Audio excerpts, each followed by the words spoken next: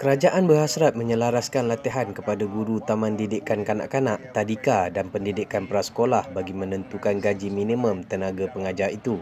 Timbalan Perdana Menteri Datuk Seri Dr. Ahmad Zahid Hamidi berkata, Beliau sudah meminta beberapa agensi untuk melakukan kajian terperinci terhadap penyelarasan itu. Agensi yang terbabit adalah Kementerian Pendidikan bersama Jabatan Kemajuan Masyarakat (KEMAS), Jabatan Perpaduan Negara dan Integriti Nasional serta beberapa institusi pengajian tinggi IPT. Ahmad Zaid berkata beliau yang mempengerusikan mesyuarat Majlis Sosial Negara minggu lalu turut mengambil kepedulian untuk membincangkan mengenai penyelarasan gaji guru berkenaan supaya nasib dan kebajikan mereka diperjuangkan sebaiknya.